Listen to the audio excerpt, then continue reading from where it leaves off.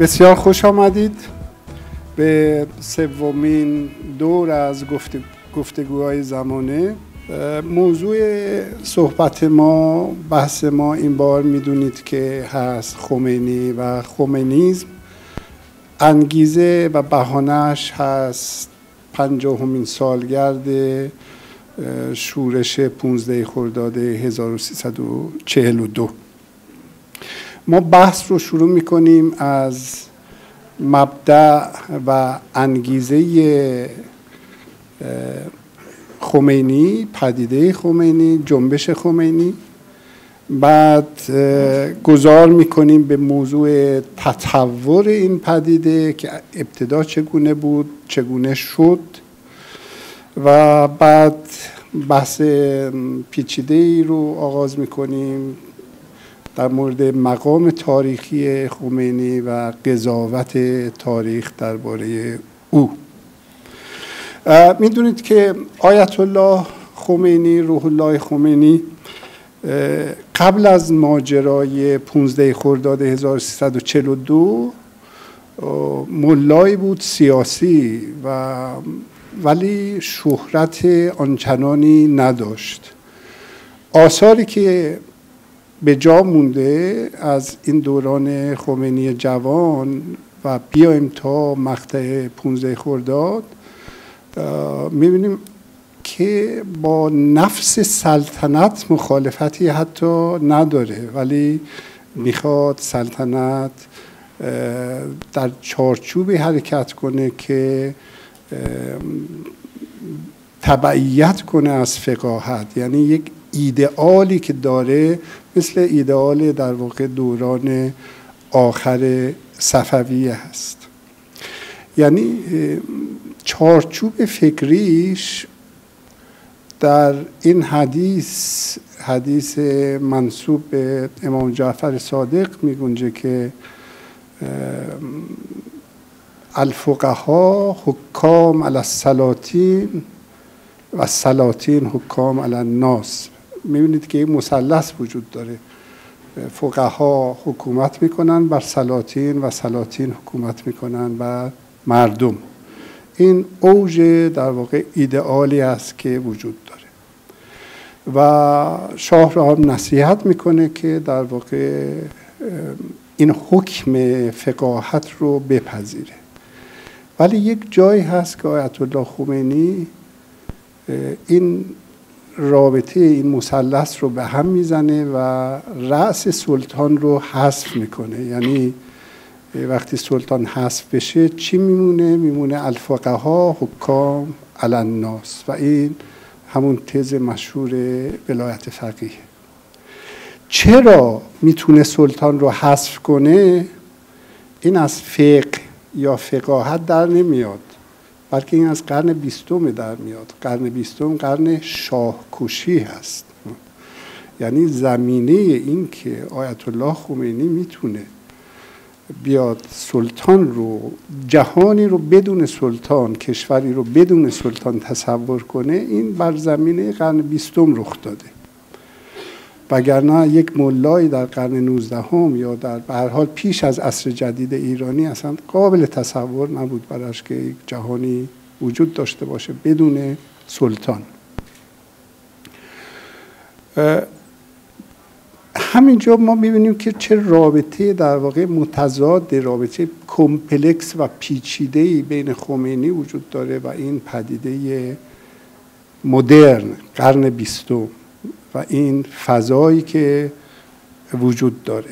از این قرن یعنی از مدرنیته از می‌گیره اراده به قدرت رو و این اراده به قدرت خودش رو نشون میده. از جمله به صورت اراده به تکنیک.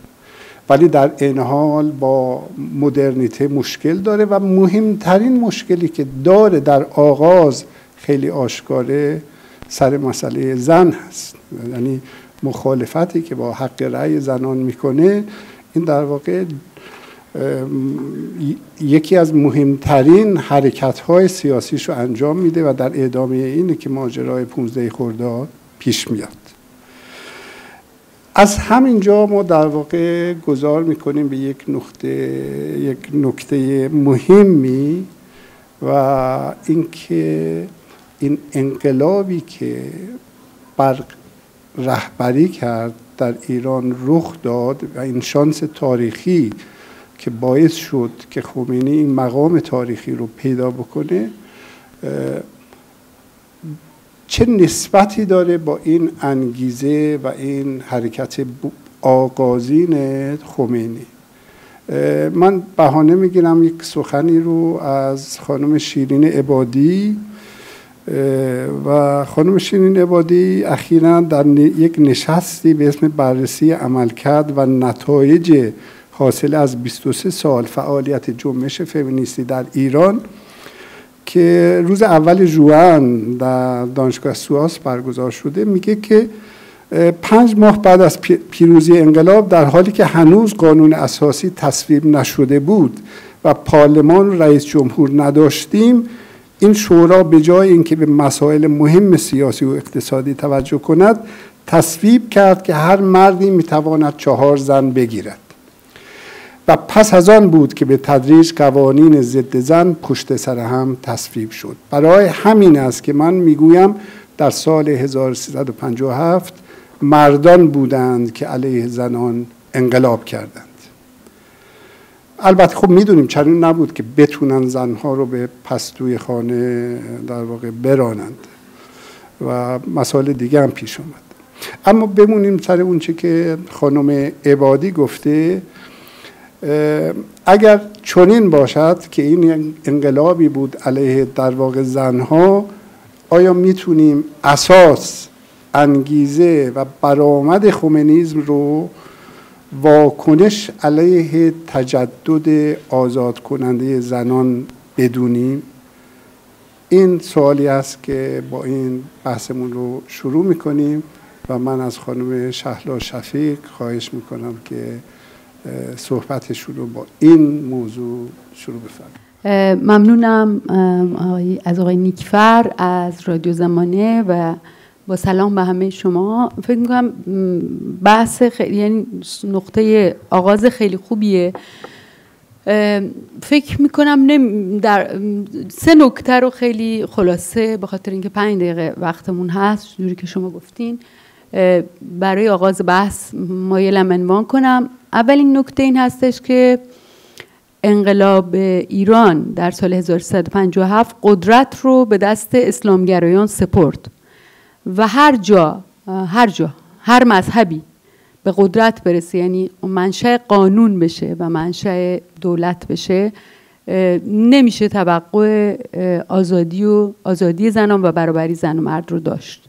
در نتیجه زنان در زمره اولین قربانیان به حکومت رسیدن اسلامیون بودن. اسلامگرایان بودن و بعد هم مردها به تبعی اون قربانی شدن. یعنی ما یک سلسله مراتبی رو در ایران شاهدش بودیم.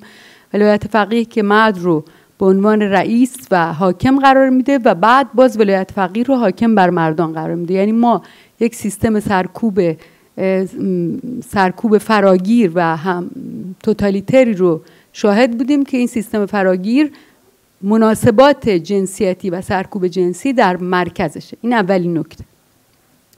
دیدیم که در انقلاب ایران میلیون ها زن هم شرکت کردن. بنابراین این انقلاب یه پدیده بسیار پیچیده تر از این بود که ما بتونیم تقلیلش بدیم به اینکه مردان علیه زنان برخواستند و توجه کنیم که خمینی در اون زمان گفتارش رو تغییر داد. یعنی خمینی که در چهل و دو در خرداد چهل و دو مسئله زدیت با رأی زنان رو مطرح کرد و در گفتار خودش خیلی به طور روشن و آشکار گفت که آوردن زنان به بیرون از خونه یعنی فحشا یعنی فساد و در اون زمان مثلا نهضت آزادی یا غیره گفتن که نه روحانیون اینطوری فکر نمی‌کنن ارتجایی فکر نمی‌کنن و منظورشون منظورشون هست مناسب اعتراض به دیکتاتوری در صورت که دقیقا اعتراض خمینی در اون زمان به عنوان رهبر شورش خرداد 42 مسئله وارد کردن زنان به عرصه اجتماع بود. خب این گفتار خمینی در سال 42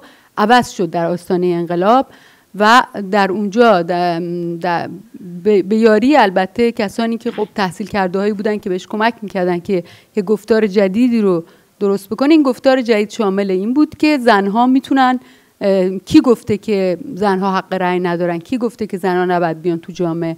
اسلام در به صدر اسلام مراجعه کرد و گفت زنها حتی به جبهه جنگ می‌رفتن و ما حتما این حقوق براشون قائل خواهیم بود و می‌تونن هر در هر موردی تصمیم گیرنده باشن.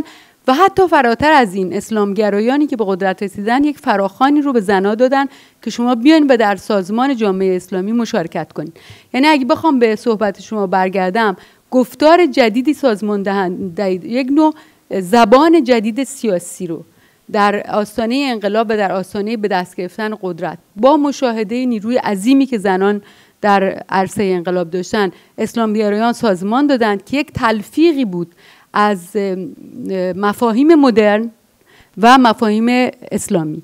مثلا مثل جمهوری اسلامی مثل آزادی زنان اسلامی.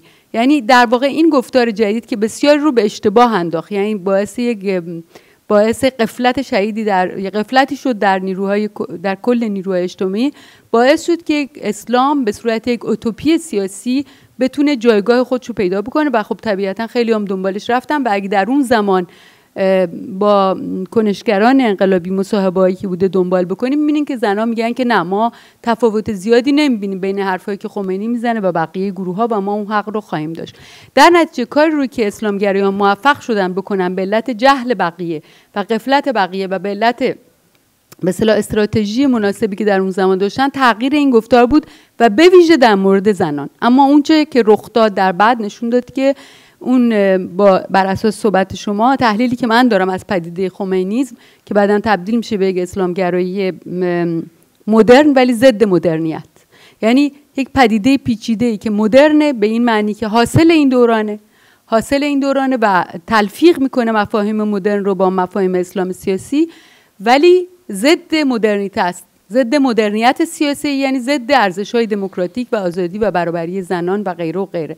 پس این مفهوم پیچیده رو که خمینی هست. این دومین نکته بود سومین نکته هم بودش که اونچه که بعد از اون اتفاق افتاد بعد از به قدرت رسیدن خمینی گرایان و اسلام گرایان به هر حال سرکوب جنسیتی بود. ولی فراموش نکنیم برمیگردم به نکته اول و تموم می‌کنم. فراموش نکنیم که این سرکوب جنسیتی یک محوری هست برای بنیانگذاری یک سیستم وسیع سرکوب توتالیتر که مردها هم قربانی اون هستن.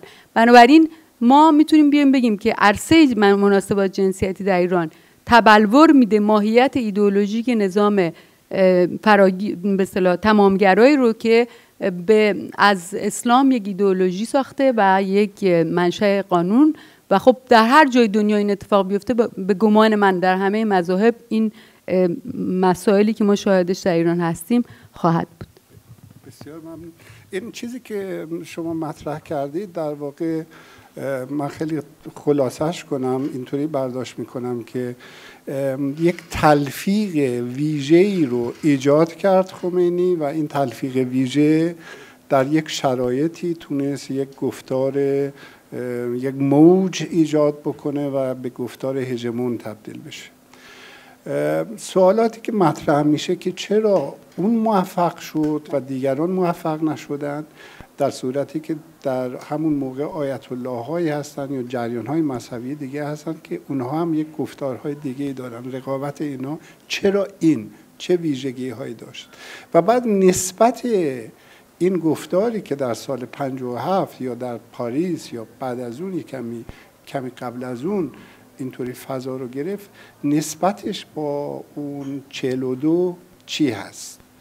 بنابراین برگردیم یه مقداری به آغاز و آقای حسن شریعت مداری در دورانی در قوم به خاطر موقعیت و در این حال علاقه سیاسی این مسائل رو دقت کردن و می‌تونن شاهدی باشن برای ما بگن که چی بود انگیزه و شروع این و چرا از میون اون سران قوم ایشون تونست این گفتار تعیین کننده رو در واقع بسازن؟ خب با تشکر از آقای نیکفر و رادیو زمانه و دوستانی که تشریف آوردند در پنج دقیقه من خیلی خلاصه باید برگردم به خیلی قبل از 42 تا برسیم به اینکه انگیزه خمینی از جریان 42 چی بود در حقیقت آقای خمینی سال 1300 با همراه آشق عبدالکریم حائری از عراق میاد قم طلبه بود و پلوی آقای حائری که مؤسس حوزه علمیه قم هست معنای حوزه علمیه قم هم اینه که روحانیتی که به علت وجود عدم حداقل وسایل تمرکز در شهرها پراکنده بود با کشیده شدن جاده و اومدن تلگراف و آمدن ماشین همونطور که رضا شاه از این وسایل استفاده کرد و یک حکومت متمرکزی خلق کرد روحانیت هم که پایه دوم قدرت تاریخی است از همین امکانات استفاده کرد. و توانست خودش رو متمرکز کنه. جایی رو به عنوان مرکز قدرت رسمیش ایجاد کرد که قم بود. خب آقای خمینی از موقعی که آمد دوران طلبگیش گذشت انسان وقتی زندگیشو مطالعه می‌کنه در حقیقت فریفته قدرتی بود که برای اون برنامه ریزی هم می‌کرد از همون موقع. آقای خمینی به همه مراکز قدرتی که در حقیقت از موقعی که قم آمد خودش رو سعی کرد نزدیک کنه. اولین کارش این بود که در قم سه تا مرجع فارس و یک مرجع ترک بود. آقای حجت کمری کوه کمری. و مرجع بزرگ آقای حجت بود. آقای خمینی فکر کرد که یک طلبه فارس تو دستگاه یک مرجع ترک جای چندانی پیدا نمی‌کنه. رفت دنبالش که آقای بروجردی رو کشف کنه. از بروجرد برداره بیاره قوم. مرحوم پدر من در روزهای انقلاب میخندید. یک نامه ای از آقای خمینی داشت موقعی که پدر من تبریز بود. خمینی نوشته بود قوم بود اون موقع که شما تا کی می‌خواهید که زیر نعلین استبداد زندگی کنید؟ بیایید با هم جمع بشیم و آقای بروجردی رو که آدم خوشفکر رو عرض به خدمتتون روشنی است از بروجرد بیاریم قوم و پدر من به این نعلین استبداد اون موقع می‌گفت که ایشون مثل اینکه یادش رفته که حالا اون نعلینا رو خودش باش کرده. بله به هر صورت آقای بروجردی مریض شده بود آمده بود بیمارستان فیروزآبادی از قبل مقدمات رو جور کردن آقای خمینی همه کاره این کار بود و ایشون رو از اونجا آوردن قوم و آقای بروجردی مرجع مطلق شد. البته استعداد خودش بود. آقای خمینی فکر می‌کرد نفر اول دستگاه آقای بروجردی میشه. هم همچنین هم بود. دو دفعه از طرف آقای بروجردی به ملاقات شاه رفته. آقای خمینی در از مدت. و برای حل و فصل امور ما بین شاه و دستگاه آقای بروجردی. بعد تا جریان فدایان اسلام پیش میاد. و جریان مصدق. در این جریان آقای خمینی هم با فدایان اسلام بسیار نزدیک بوده و هم با آقای کاشانی. و البته بر علیه مصدق. پدر منم با مرحوم مصدق نزدیک بود. خب. در این قضیه آقای خمینی وقتی فدایان اسلام رو محکوم می‌کنند به اعدام می‌خوان اعدام کنند. آقای خمینی میاد پلو آقای بروجردی مدتی قبل از اون و توقع داشته که آقای بروجردی باید اطلاعیه بده و از فدایان اسلام حمایت بکنه. آقای بروجردی هم که از تسلط اون بر دستگاه خودش اندیشناک بود یک مشتسنی بود که بعدا خادم دار تبلیغ شد که به در من گذاشته بود. اون خودش به من گفت اون موقع در حقیقت سرایدار آقای بروجردی بود. گفت من دیدم این دوتا حرفشون تون شد. آقای بروجردی گفت مشتسن بیا کمر این سید رو بگیر بندازش بیرون.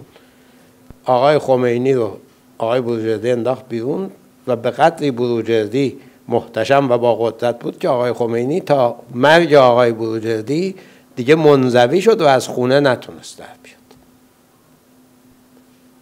سالهای آخر یک درس اصولی گذاشت. قبل از اون یه درس خصوصی مخفی فلسفه و شرح اسوار می‌داد برای اینکه فلسفه تو قم در دوره آقای بروجردی جزو چیزهای نامرغوب و نسبتا ممنوع بود.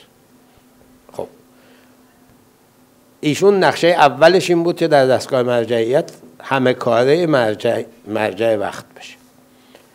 بعد که با ناکامی روبرو شد آقای بروجردی سال چهل فوت می‌کنه. کندی هم سر کار میاد. 1961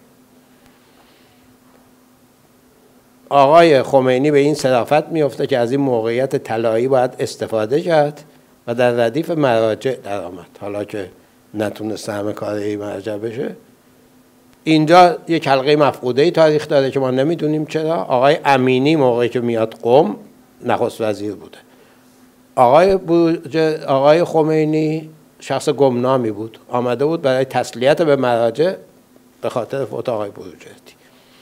از جمله کسانی که میره دیدنش به خاطر اینکه تولیت قم که از نزدیکان قوام السلطنه بوده و به کاشانی نزدیک بوده توصیه می‌کنه دیدن آقای خمینی است و این در کیهان چاپ میشه. این اولین جایی است که مردم ایران می‌فهمند که شخصی به اسم خمینی اصولا وجود داره تو حوزه علمی. و چند ماه بعد از اون آقای خمینی یک موقعیت طلایی پیدا می‌کنه که بر علیه شاهی که ضعیف شده در دوره کندی. و دموکرات ها سر کار اومدن. به همراه عواملی که در فدایان اسلام داشت قیام بکنه. و مسئله بر سر اینه که آقای خمینی که بعد آقای خمینی شد اینطور نبود که دستگاه سیاسی رو ایجاد کرد. دستگاه سیاسی قوی مثل فدایان اسلام. و شاخه مذهبی حزب زحمت کشان که آقای بهشتی هم عضوش بود و آیت اینا کسانی بودن که از همون موقع آقای خمینی رو در حقیقت اداره کردن و جلو دادن تا رهبر سیاسی بشه. بنابراین شرکتش در واقعه خرداد 42 یک حرکت کاملا حساب شده و سیاسی برای تسخیر رهبری سیاسی روحانیت. وقت کم شواهد مثال زیاده بعدا من در جاهای مختلف بسیار ممنون. مشکلی که ما همواره داریم در برخورد با یک شخصیت های مثل خمینی این هست که وقتی که ما زوم می‌کنیم متمرکز میشیم روی این شخصیت یعنی بعد فاکتورهای بیوگرافیک برجسته میشه یعنی مجموعی از حادثه ها که می‌تونست باشه می‌تونست نباشه. از طرف دیگه وقتی که این دیده مثلا مکرویی که خانم شفیق داشت در مورد این گفتاری که میاد فرا می‌گیره به اسم اسلامگرایی اونجا ما به نظر می‌رسه که خب تضادهایی وجود داره در مدرنیته در مدرنیزاسیون ایرانی جامعه ایرانی و این تضادها بالاخره خودشو به این صورت نشون میده و این پدیدا به نظر می‌رسه که اینجا پای حادثات نیست و همش ضرورته و خیلی سخته اون چیزی که هگل بهش میگه نیرنگ عقل. ما بیانش کنیم که چطوری در واقع این دوتا رو به هم وصل می‌کنه. یعنی روایت شما چی است آقای خلجی؟ بگونه ای که آیا یک شما این رو یک خط فکر منسجم از آغاز نسبتا تعریف شده می‌دونید که میاد یک جایی در این گفتار یا در این نهر تضادها پیدا می‌کنه یا اینکه نه مجموعی از حوادث تاریخی بوده که کنار همدیگه قرار گرفته؟ یعنی بین این میکرو و این مکرو چگونه ارتباط برقرار می‌کنید شما؟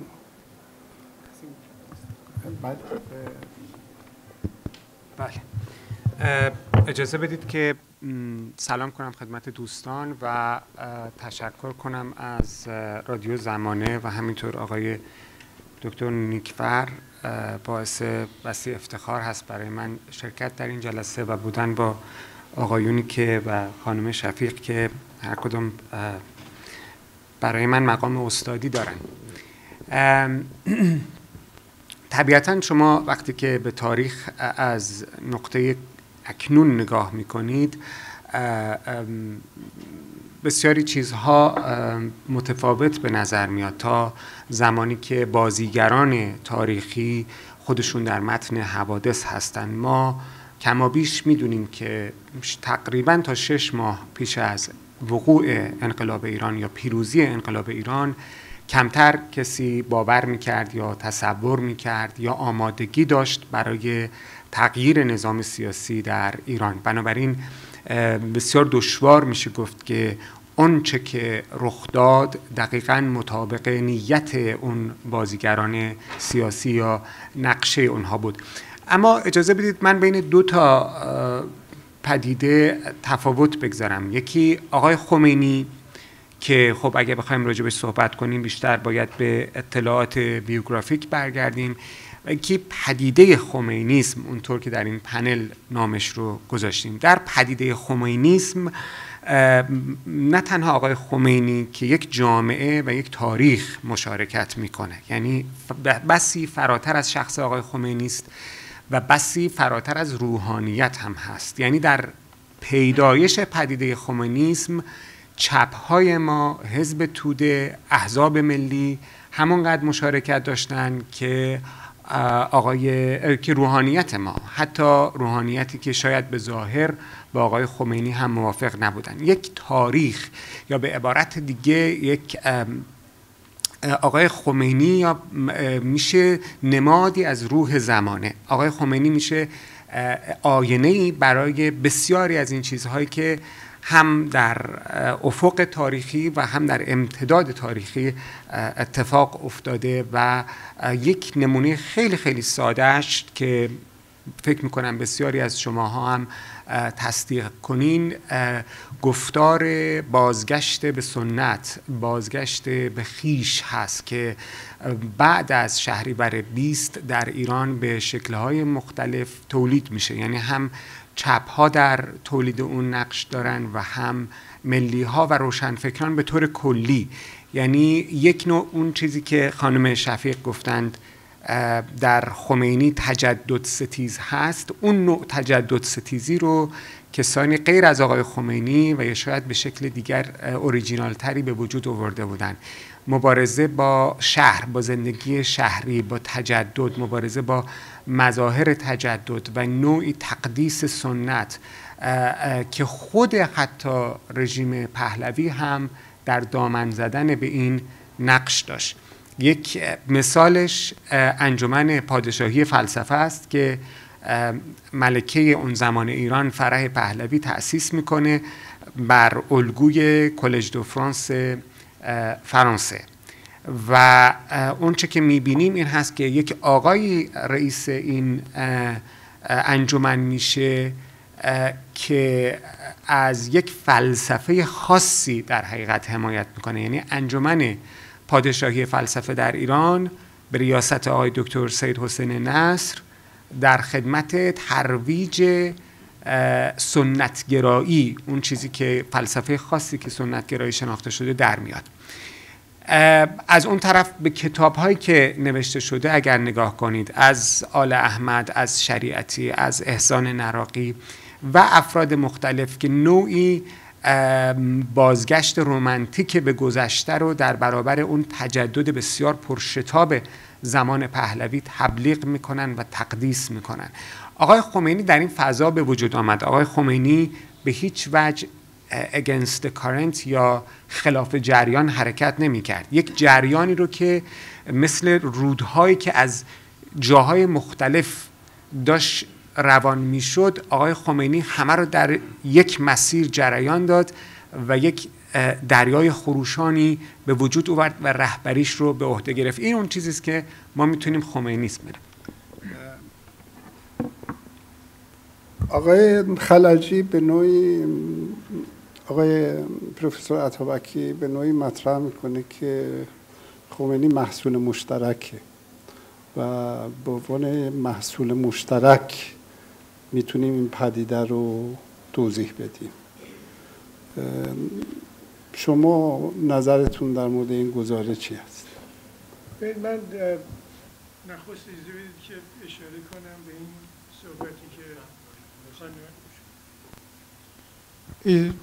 یعنی آنچه که ما از تجدد و تجدد ستیزی روحانیت در ایران می‌فهمیم. نخست اجازه بدید که یک کوتاه بگم که اگر تجدد رو به عنوان فردیت و خودمختاری فردی بپذیریم و اگر تجدد رو همراه فردانیت فردیت و خودمختاری فردی توامان با خرد نقاد قبول کنیم بنابراین می‌تونیم بگیم که ما می‌تونیم به تجدد یا به مدرنیته اعتقاد نداشته باشیم اما مظاهر مدرنیته رو جاری کنیم.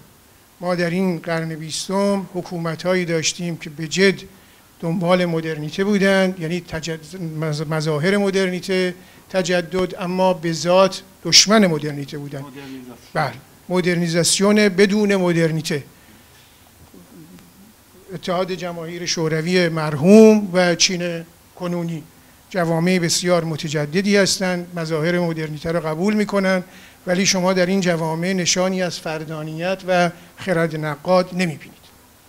در مورد روحانیت هم به همین معنا می‌تونن خرد نقاد را نپذیرن فردانیت و خودمختاری فردی را نپذیرن اما مظاهر مدرنیته رو به جد پایبند بشون این یک. نکته دوم آنچه که دوست خردمند ما های شریعت مداری گفتن من در هم نظر هستم با ایشون. ما با یک شخصیت بسیار بسیار فرهمند کاریزماتیک روبرو هستیم که ایشون به قدرت میاندیشن. شما نگاه بکنید من به اون پیشینه که آقای شریعت مداری به درستی اشاره کردن از زمان فعالیتی که ایشون داشتن در قوم و آوردن آقای بروجردی به قوم و بعد نامه ای که به آیت الله شریعت مداری فرستادن میگذرم. من شما رو می‌برم به مهر 1341 26 مهر 1341 ما حکومت پهلوی لایحه انتخابات انجمنهای ولایتی و ایالتی رو تصویب می‌کنه. سه بند داره که این لایحه یکی این که سوگند خوردن به قرآن مجید برای نمای انتخاب شدگان از این لایحه برداشته میشه و به جاش کتاب آسمانی میاد. نکته دوم قید مقید بودن به اسلام از این برداشته میشه و نکته سوم هم برای زنان حق انتخاب کردن و حق انتخاب شدن منظور میشه. این مهر 1341 هستش و لایحه مصوبه دولت لایحه تصویر انجمنهای ایالتی و ولایتی. شب بعد از این در خانه حاج میرزا رضا حائری اگر اشتباه نکنم آقای گلپایگانی مرحوم شریعت مداری بله حاج مرتضی حائری و آقای شریعت مداری و آیت الله شریعت مداری و آقای خمینی گرده هم میان. و مخالفتشون رو با این لایحه اعلام می‌کنند. و میگن با این لایحه ما مخالفیم و ما باید به دربار تلگراف بفرستیم و اعتراض خودمون رو بیان کنیم و بعد هم به ایالات و ولایات نامه بنویسیم و از ایالات و ولایات هم بخوانیم که صدای اعتراض خودشون رو بلند کنند این 26 مهر 1341 هستش. از 26341 اجازه بدید من که نگاهی خیلی گذرا بکنم بعد خدمتتون برسم. برسم به در حقیقت سال 1343 آبان 1343 که 13 آبان که آقای خمینی تبعید میشه از ایران و فروردینش که از زندان آزاد میشه. شما خطابه های ایشون رو نگاه بکنید می‌بینید آقای خمینی مهر 41 آقای خمینی 43 دیگه نیست. موازش به جد تغییر کرده ایشون به قدرت بیشتر میاندیشه. بنابراین آن چیزی که در حال حاضر من گمان می‌کنم اگر همینجا بخوام اشاره بکنم و بعد بذارم برای بحث ما با یک نهله از تفکر و رفتار اجتماعی روبرو هستیم که من اسمشو می‌ذارم پوپولیزم. این پوپولیزم خمینی یعنی خمینیزم رو به عنوان یک رفتار پوپولیستی من ارزیابی می‌کنم درش آمیخته هایی از فرصت طلبی عملگرایی به قایت به چشم می‌خوره و انتباق کاملا روشنفکرانه و سیاسی. در اینجا شما می‌بینید. مجموع اینها این رو در حقیقت می‌سازه. اجازه بدید من همینجا ختم کنم. اگر فرصتی بود بعد خدمتتون از همین نکته پوپولیزم شروع کنیم یعنی پرسش رو از آقای پروفسور سعید امیر ارجمند از اینجا در واقع پیوند بزنیم به صحبت شما. این هست که پوپولیزم در اصولا یه ورژن یک روایت یا یک نوانسی است از جنبش ناسیونالیستی. یعنی در واقع بدون یک جنبش بزرگ ناسیونالیستی که در واقع یک ایدولوژی فراگیر از اواخر قرن 19 تا در واقع قرن تمام قرن 20 رو می‌گیره بدون این محمل نمی‌تونستن این جنبش رو چیز بگیریم آیا ما می‌تونیم در واقع خمینیزم رو یک روایت دیگه ای بدونیم. یکی از ورژن های ناسیونالیزم ایرانی در نظر بگیریم. این یک نکته. و نکته دیگه این هست که آقای امیر اجمند دیشب در آمستردام یک سخنرانی بسیار شنیدنی داشتن در مورد مقایسه قانونهای اساسی برآمده از انقلاب ایران و از طرف دیگه انقلاب کشورهای عربی به طور مشخص تونس و مصر.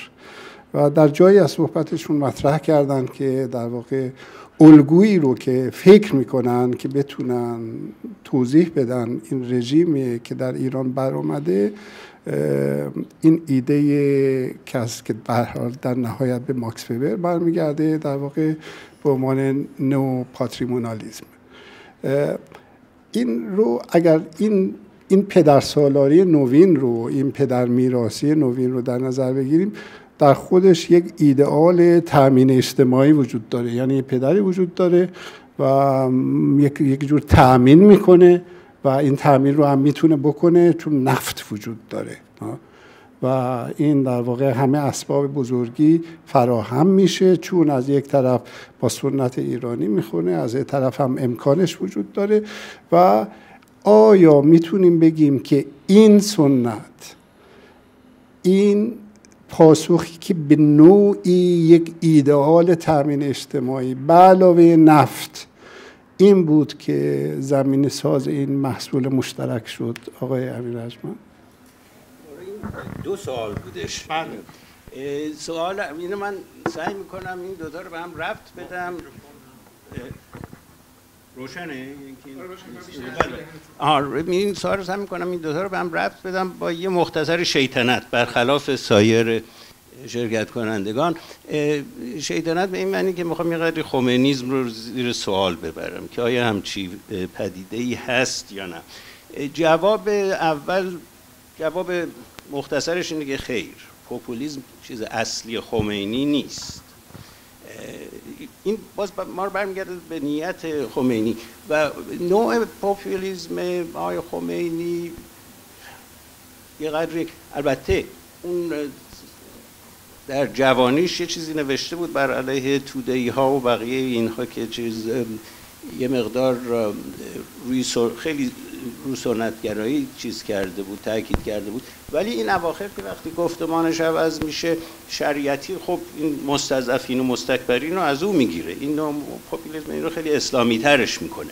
ولی به نظر من این چیز اصلیش نیست. این یه جنبه فرعی کارهای خمینی هستش. این و باز البته این ما باز برمیگردونه به نیت آقای خمینی تا که نمیشه ازش گذشت. ولی به صورتی که به تاریخ نگاری هم بشه ربطش داد. این نیت آقای خمینی اینه که آ چی می‌خواسته واقعا در زمان انقلاب؟ می‌خواسته که مردم رو قدرت پیدا بکنند یا می‌خواسته که نیوپاتریمونالیزم رو به طوری راه بندازه پدر سالاری رو راه بندازه در ایران به نوع جدیدش رو. این البته پدر سالاریش یه قدری منطقی تره. ولی دو موضوعی که الان می‌خوام بهش اشاره کنم. یکی اینه که آقای خمینی چی می‌خواسته؟ خب ما اینو خیلی مشکل بشه فهمید. یک یه موضوع مهم اینه که آیا چرا آقای خمینی اون قانون اساسی بازرگان رو که ظاهرا قبول کرده بود حقیقی حبیبی و دیگران گفته بودم برده بودم امضا گرفته بودم چرا این تغییر عقیده داد؟ البته می‌دونیم در مقابل در مورد رئیس جمهوری کردن معممین خب اولش نمی‌خواست با بهشتی اجازه نداد و بعد از کشتن رجایی و بنی صدر رو اینها گفتش که آقای خامنه‌ای تو برو بشو. ولی موضوع مهمتر اینه که چه حکومتی رو می‌خواسته چه نظامی رو می‌خواسته. اینو من یه موضوع جالبی عرض کنم که از نظر تاریخی مهمه. چون اگه در دهه گذشته که برمیگردید یه عده میگن که مطرح شده که خامنی اصلا جمهوریت رو نمی‌خواست. حکومت اسلامی منظورش حکومت صالحی بود اونم پدر سالاری صالحیان صالحان در واقع. یا سلطنت استبداد صالحان. چون گفتش که این سلطنت قبلی فاسد بوده ما اگه کاری بخوایم بکنیم باید صالح باشه. به این صورت مثلا پدر صالح صالحانه صالحان اسمش رو بذاریم.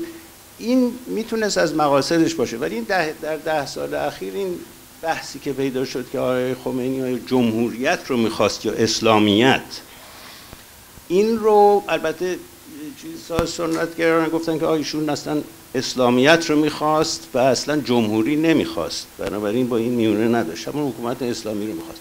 این رو یه چیز من وقتی که رفتم خدمت ایشون در سال در نفل و شاتو قبل از برگشتن به ایران از طریق یزدی مصاحبه مختصری کردم با ایشون. بعد از این مصاحبه آمدم بیرون. آقای پروفسور الگار اونجا نشسته بودش که از من خیلی مفصلتر صحبت کرده بود چندین روز بود. این به من گفتش که آقا آقای خمینی اصلا جمهوری و اینها رو نمی‌خواد حکومت اسلامی می‌خواد. من این یادداشت کردم جز چیز برام چون مهم بود. بعدش این رو تو کتاب اخیرم که نوشته بودم گله کرده بودش که آقا چرا از من نقل قول کردی و ایرانی الان حمله می‌کنند میگن همش تقصیر تو بودی. گفتم والا من که گفتم که تو گفتی. گفتم تو گفتی که خمینی گفته این حرف رو. و به حال این چیز تاریخی آره به تو اذیت بکنه حالا اینه که خمینیزم و تعبیر این اصلاحگرانان این که آقا جمهوریته. این صحبت اخیر. تعبیر چیز به اصطلاح سنتگران یا اینکه افترهای ولایت فقیه اینه که نه آقا اسلامیت بوده به معنی ولایت فقیه. بنابراین حالا اینکه خمینیزم چی هست خودش مهمه. یعنی نیت خمینی البته بی اثر نیست خیلی مهمه در تحولات بعدی. ولی آیا اینکه نهضت به خصوصی تولید کنه یا دو سه چیز؟ به نظر من سه ببخشید وقتم داره تموم میشه سه تعبیرش مهم بوده از اون. اولیش که عرض کردم جمهوریت دومیش اسلامیت سومیش هم تعبیر آقای احمدی نژاده که پوپولیزم باشه. او بودش که این رو را آورد و گفتش که این خمینیز معنیش اینه. بنابراین سه معنی از چیز پوپولیسم رو برمیگردیم به صحبت آقای عطابکی توضیح بیشتری بدن. ولی قبل از اون شما خیلی متمرکز شدید روی نیت خمینی. نیت طبق استنباط من چیز زیادی رو نمی‌تونه می‌تونه رنگامیزی رو توضیح بده. وقتی که اون دید میکرو رو وارد می‌کنیم ولی وقتی فاصله می‌گیریم یعنی به عنوان مکرو نگاه می‌کنیم در واقع این جریان های بزرگ دیگه نیت میشه اون چیزی که آقای خلجی گفتن که این چطوری تلفیق می‌کنه و میره تو این جریان یک جایگاهی پیدا می‌کنه یا صحبتی که خانم شفیق مطرح کردن. شما خانم شفیق چگونه می‌بینید؟ واقعا فکر می‌کنید یه پروژه نیتمندی بوده یا پروژه‌ای بوده؟ این خمینیزم بر بستر تضادها بر بستر در واقع این قرن پیچیده قرن بیستم و این جامعه پرتضاد کدوم رو؟ من فکر کنم هر دوش آقای نیکفر. یعنی که در واقع بحثی که آقای خلجی کردن که خود پدیده خمینیگرایی حالا بذاریم خمینیزم یا هر اون چیزی که در انقلاب ایران در واقع یک خط امام که خود توده و اینا هم گفتم ما برای خط امام اونا درست کردن ولی منظورم اصطلاحش رو جو انداختم ولی واقعیتش اینه که یه پدیده وجود داشت یه پدیده در که من فکر می‌کنم در قرن بیستم چند چند عامل هست چند روند هست که این روندها برایند برآمد اسلامگرایی رو در انقلاب ایران زمینه های جهانیش رو توضیح میده زمینه های داخلیش رو توضیح میده و بعد می‌رسیم به خود انقلاب ایران. خیلی خلاصه. فکر یعنی کارهایی که من به حال مطالعه‌ای که من کردم منو به این نتیجه رسونده که یک روند هست در قرن بیستم که اون روند ضدیت با مدرنیت سیاسی. که شروع میشه از یه دوره به بعد از دوره نیمه قرن بیستم شروع میشه به عنوان حالا در عرصه فلسفه شما می‌تونید فکرهای پست مدرن رو ببینین در عرصه که یک جور وقتی که من یک تفاوتی قائل میشم بین مدرنیزاسیون یعنی نوسازی و مدرنیت سیاسی. یعنی نوسازی وقتی که شما یک جریان اقتصادی رو نوسازی می‌کنین نهادهایی رو وارد می‌کنین چیزی که در دوره شاه در ایران هم اتفاق افتاد. یک نوع مدرنیزاسیون بود. مدرنیت سیاسی یعنی اینکه نکته که آقای عطابکی بهش اشاره کردن مسئله پذیرش فردیت عقل خرد نقاد و اینکه شما یک ارزش های جهان شمولی رو بهش به صلاح مادیت میدین در بستر یه ساختار سیاسی میشه مدرنیت سیاسی پروژهش هم دموکراسیه. حالا این دموکراسی می‌تونه در یه شرایطی بشه به صلاح حالا بحث خیلی زیادی خود دموکراسی چه نوع دموکراسی ولی خیلی تعریف گستردش اینه. حالا ما در ایران در یعنی در در جهان شرایطی که شاهدش بودیم اینه که بعد از نیمه دوم قرن بیستم یک نوع و با ظهور یک نوع انواع توتالیتاریزم انواع تمامگرایی ها و از جمله تمامگرایی نوع چپ که سوسیالیسم رو بدون دموکراسی می‌خواد یعنی بازی مفهوم مدرنیت رو ازش می‌ذاره کنار. ما می‌بینیم که یک روندهای ضد مدرنیت سیاسی شکل می‌گیره از جمله خود فاشیزم هم یه پدیده مدرن دیگه پدیده مدرنه ولی ضد مدرنیت سیاسی. بعد ما می‌بینیم که در جنگ سرد در دوره جنگ سرد برای مبارزه با خطر سرخ یعنی اتحاد جماهیر شوروی غرب هم به طرف استراتژی کمربند سبز میره. یعنی کمربند سبز چیه؟ یعنی آوردن نیروهای مذهبی بر علیه یعنی اینا عوامل جهانی هستش که کمک می‌کنه به برآیند به برآمد نیروهای اسلامگری در داخل ایران. در خود ایران قضیه چیه؟ من یه جایی با تحلیل آقای خلجی می‌تونم توافق بکنم و اونم اینه که خود دیکتاتوری شاه یک نوع مدرنیته مثله شده است. من اسم این پدیده رو می‌ذارم مدرنیته مثله شده یعنی مدرنیزاسیون بدون مدرنیته سیاسی. خب در مقابل این اپوزیسیون شاه چی هست؟ چپا هستن که خب بر اساس استالینیزم یعنی تسلط استالینیزم خودشون باز یک نوع مدرنیت مسله شده دارن. و یک فکر دیگه که خیلی به خمینی کمک کرد و آقای دکتر آقای امیرنجمن هم اشاره کردن گرفتنش از شریعتی و حتی نهضت آزادی و بازرگان برآمد اسلام سیاسی هست. اسلام به عنوان یک مقوله اوتوپیای سیاسی بعد از کودتای 28 مرداد. که این رو اگر شما در به اصطلاح جنبش روشنفکری ایران دنبال بکنیم می‌بینین که نهضت آزادی بلافاصله بعد از اون تشکیل میشه و این کلام معروفی که نسبتش دادن به بازرگان که اول مسلمانم بعد ایرانی که یعنی مسئله رو میاره روی اینکه هویت اسلام رو تبدیل می‌کنه به یک هویت ملی. و بعد از اون مسئله شریعتی اسلام انقلابی مجاهدین که به اسلام مبارزه چریکی, چریکی و انواع نحله های اسلام سیاسی رو در ایران بعد از کودتای 28 مرداد شما می‌بینین همراه با تضعیف نیروهای چپ به که این نیروهای چپ در واقع در دوره مصدقه شکست سنگین فکری رو متحمل میشن و یک ناامیدی گسترده. و اون با نکته که شما بهش اشاره کردین مثلا پدیده خود جلال الحمد برگشتی است به یک سنتی که حتی میره تا خود فضل الله نوری به خاطر اینکه یعنی این عوامل داخلیشه. اینا همه دست با دست همدیگه میدن و شما مسئله یک نوع بازگشت به خیش رو بازگشت به سنت رو ولی به شکل مدرن جایی که من فکرم جدا میشه از اون نکته که آقای خلجی گفتن یک نوع رومانتیسیزم یک نوع به حال برایند یه فکر تقریبا میشه گفت فاشیستی جدیده که توش پوپولیسم هم هست ولی با یک نوع تلفیق کلم به اصطلاح کنسپت های مدرن و فکر کنسپت اسلام و یک لانگاژ یعنی در واقع یک زبون جدید سیاسی متولد میشه که این رو خمینی با, با همون کریزمی که داره با همون به اصطلاح فرهمندی که داره این رو نمایندگی می‌کنه. ولی نمیشه گفت واقعا فقط خود خمینی. یه محصول مشترک همطور که شما گفتین از انواع گفتارهایی که در این زمان وجود داره منتها ویژگی خمینی اینه که هیچ وحدتی رو نمیپذیره. اینجاست که شخصیت اون یک حرفی رو می‌زنید چون هیچ وقت نه حاضر شد نه با مجاهدین نه حتی با خود شریعتی ملاقات بکنه در قبل از اون. و همواره این و اگر نکته ایشونو بگیم خب خمینی نوشت ولایت فقیه رو تئوریزه کرده. ما نمی‌تونیم بیایم بگیم که ما نمی‌دونیم نیتش چی بوده. خمینی این رو در این کتاب دقیقا گفته و متاسفانه در ایران به عمل درآمد.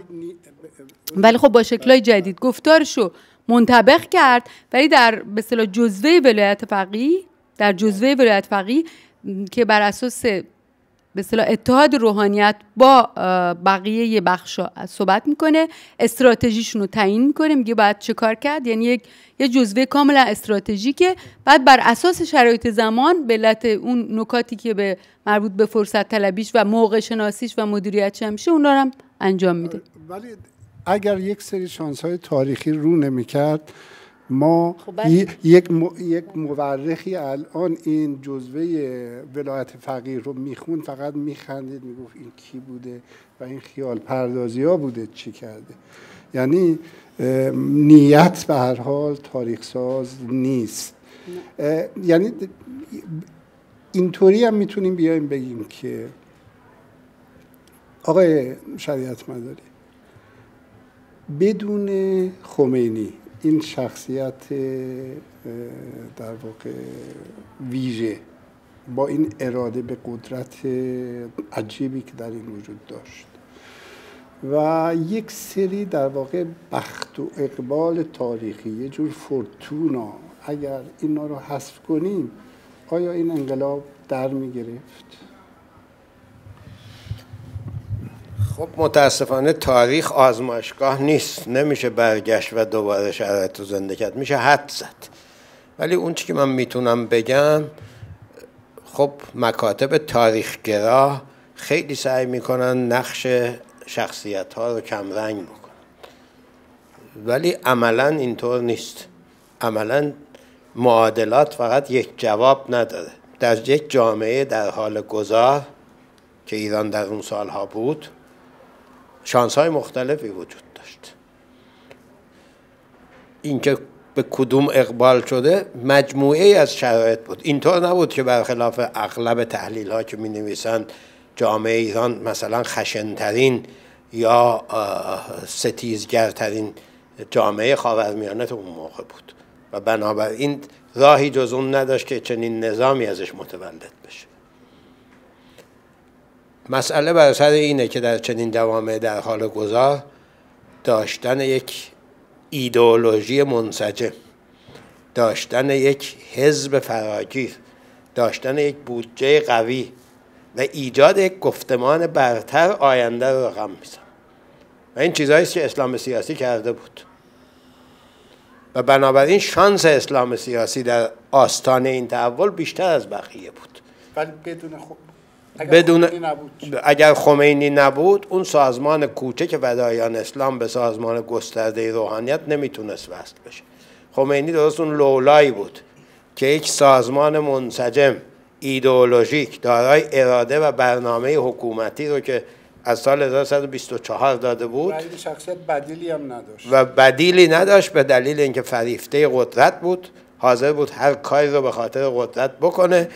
و در جامعه ایرانی که در حقیقت با رفتن شاه جواز ورود بسیاری از جریانهای سیاسی و همچنین زنان به صحنه اجتماعی صادر می‌شد همین جواز ورود سرمایه بزرگی بود که علا رقم اختلافات بسیار بزرگ ایدئولوژیک و داشتن تمایلات یا مقاطع مشترک ایدئولوژیک هم با خمینی همین اجازه ورود در اثر رفتن شاه رمز موفقیتی بود که خمینی رو موفق کرد. یعنی شاه انقلاب انقلاب خمینی. انقلاب بیشک انقلاب خمینی بود و بدون وجود خمینی در اون مقطع این انقلاب به این شکل به وقوع نمی پیوست و مسلما شانس رفرم که ما حاوی اون بودیم ما در حقیقت اونو می‌گفتیم و بازگشت به قانون اساسی 1906 بسیار قوی آره، من پیوند می‌زنم به صورت پوپولیسم قبل از اینکه به آقای خلجی برگردم شما چطور می‌بینید که این انقلاب انقلاب خمینی بود یا اینکه در واقع انقلاب پوپولیستی بود که به هر حال یک رهبری رو ایجاد می‌کرد؟ و برگردید و توضیح فکر می‌کنم در رابطه با این پوپولیزم لازم باشه اینجا.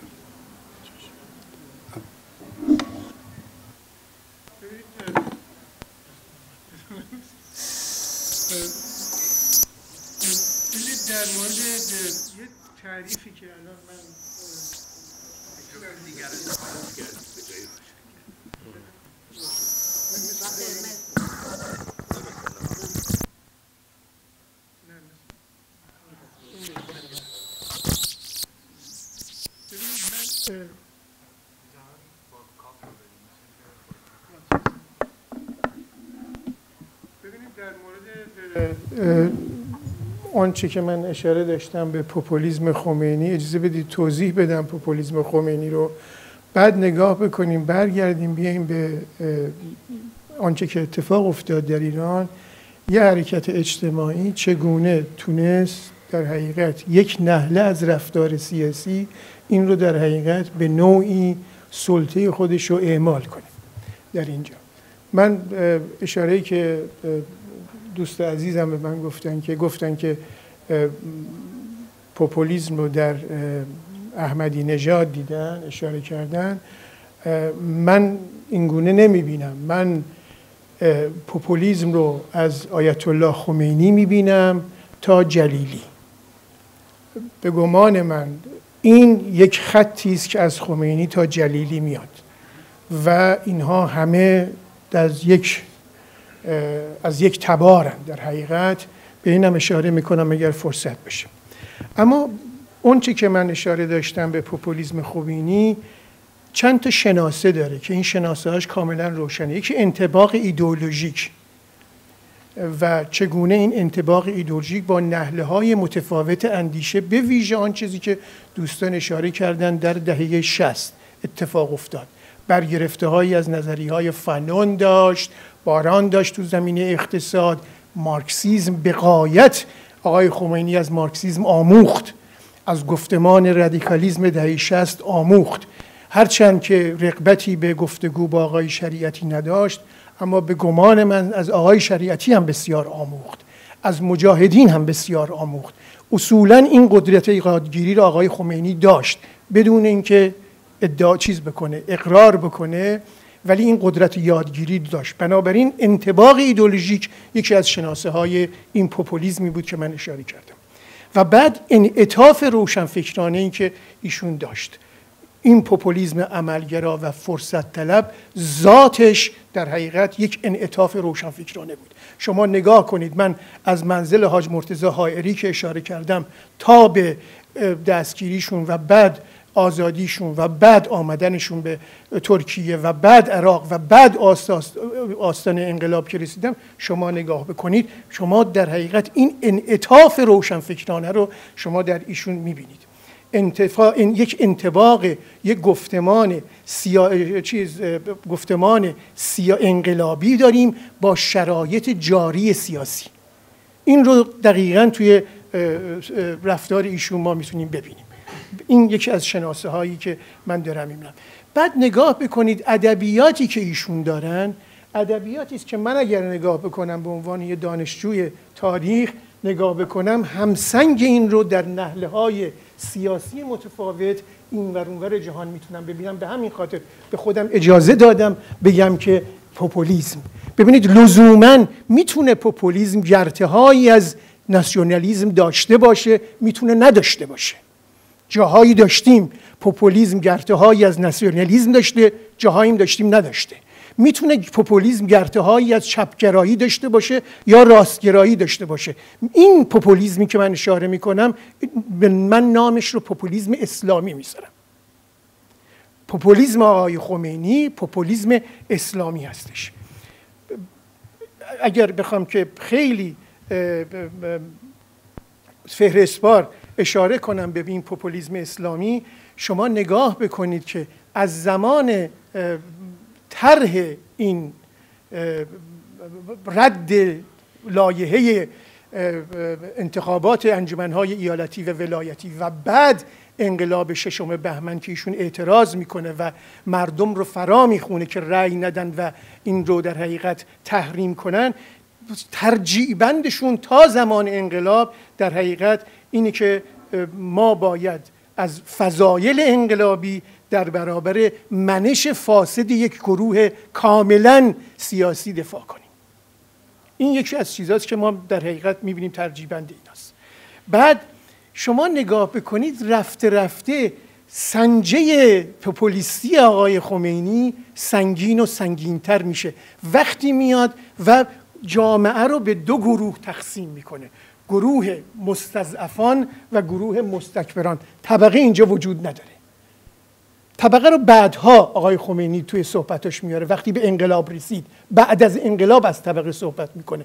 ولی در قبل از انقلاب این نهله در حقیقت جامعه رو به دو گروه مستضعف و مستکبر تقسیم کنه کاملا فراگروهی فراحزبی فراجناهی این یکی از ویژگی های حرکت های پوپولیستی. اجازه بدید پرحرفی نکنم شناسایی دیگه هم داره. همینجا می‌ذارم که دوستان دیگه. بسیار ممنون. آقای خراجی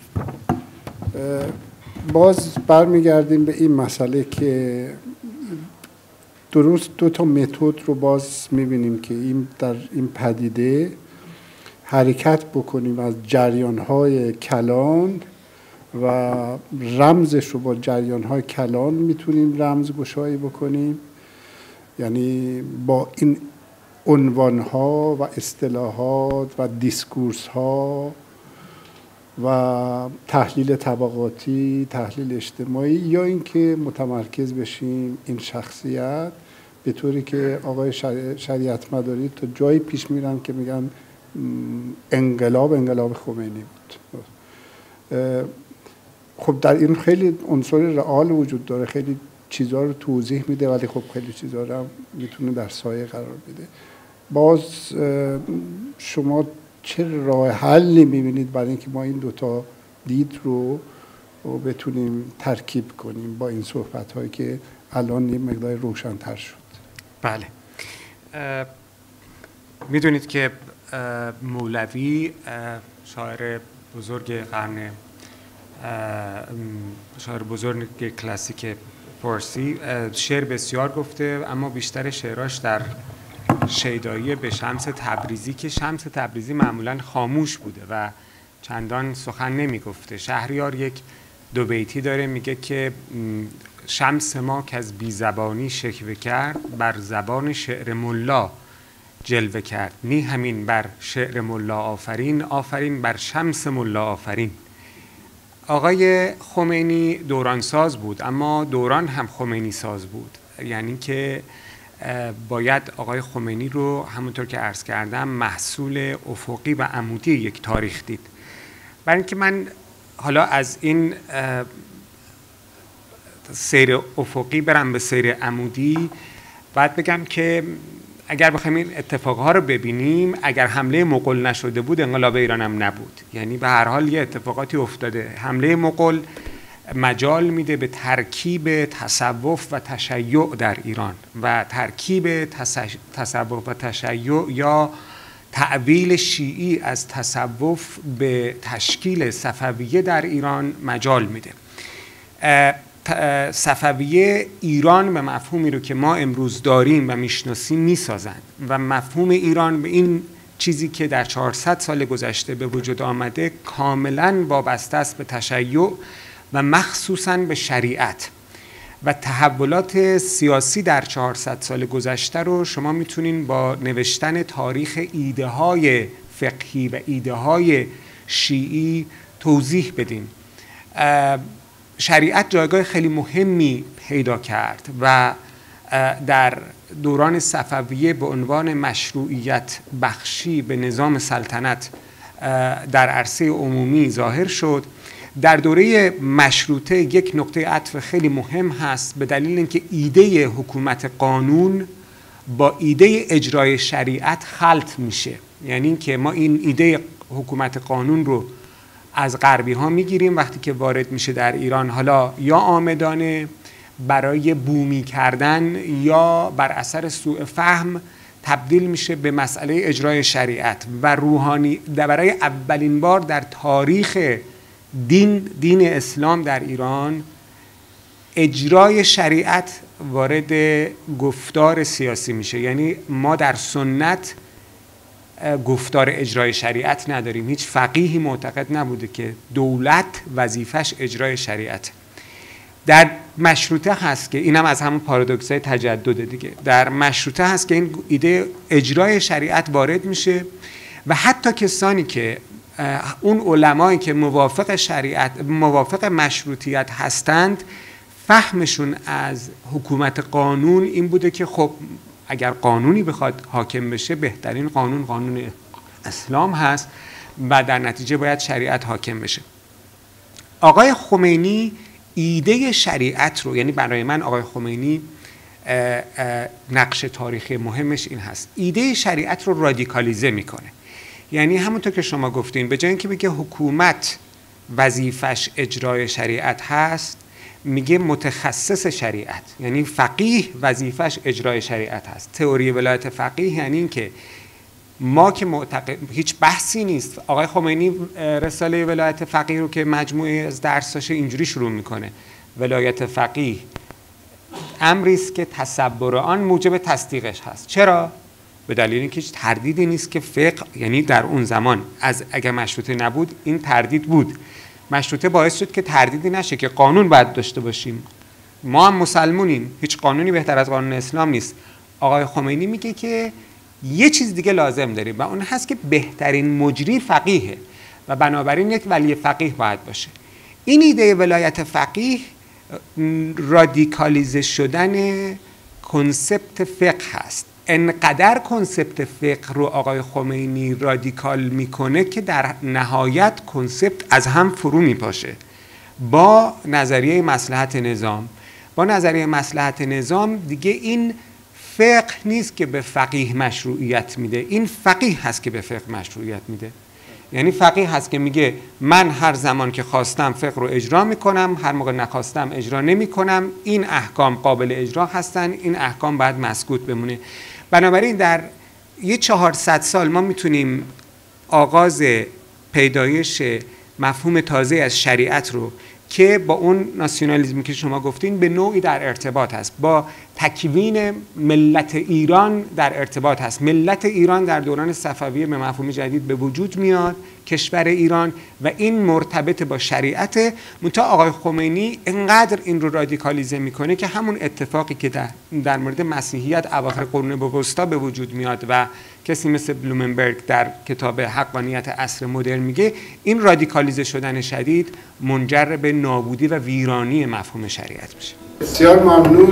یک تنفس کوتاهی خواهیم داشت و بعد دوستان حاضر در جلسه می‌تونن سخن بگن انتقاد کنن نظر بدن و سوال